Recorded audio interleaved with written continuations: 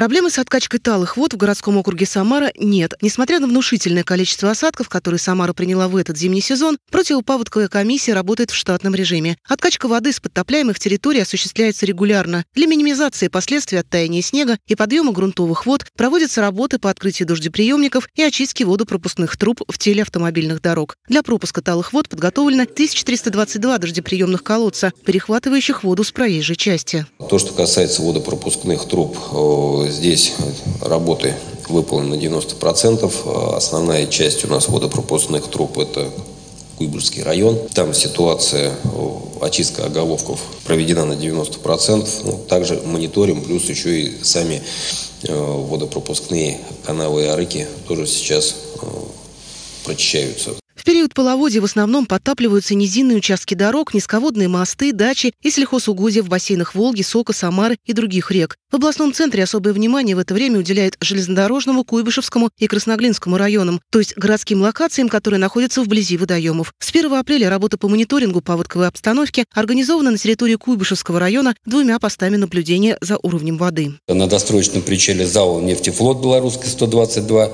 приток сухой э, реки Самар, и на базе группы патрульной дежурной э, службы ГИМС, обувная 1Б. Об обстановке в период половодья информирование населения осуществляется при помощи средств массовой информации, сети интернет, смс-сообщений, сотрудниками полиции на служебных автомобилях, оборудованными громкоговорящими устройствами, а также путем адресного обхода жителей домов сотрудниками управляющих компаний. Впрочем, по прогнозу синоптиков, весенний паводок этого года ожидают в пределах средних значений. С учетом погодных условий таяние снега происходит постепенно, что помогает избежать обильного подтопления городских территорий. Ольга Павлова, Константин Головин. События.